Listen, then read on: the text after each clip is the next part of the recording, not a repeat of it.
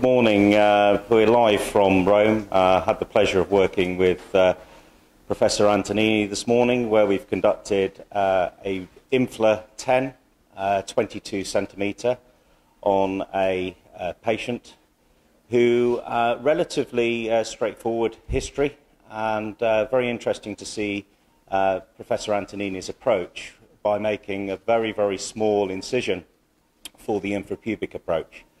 Obviously, compared with uh, penoscrotal, very interesting for me to, to see this once again, as when we obviously consider the number of infrapubic cases that are conducted versus penoscrotal, it's relatively few, certainly outside of the United States. But I think what is very noticeable to me is the very, very narrow cut that uh, Professor Antonini, Antonini makes, and also the limited dilatation, uh, which really obviously minimises uh, the dissection into the corporal bodies.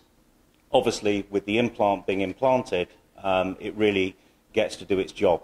And with a 20 centimetre that we've implanted, with just two centimetre rear tip extenders, we've really ended up with a very, very nice uh, result here. And I think this patient will be exceedingly happy with his new Infla 10. So thank you very much, uh, Professor Antonini, to you, yourself and also your great team you've got here in Roma. And uh, we look forward to many more uh, Rigicon implants with you. Thanks again.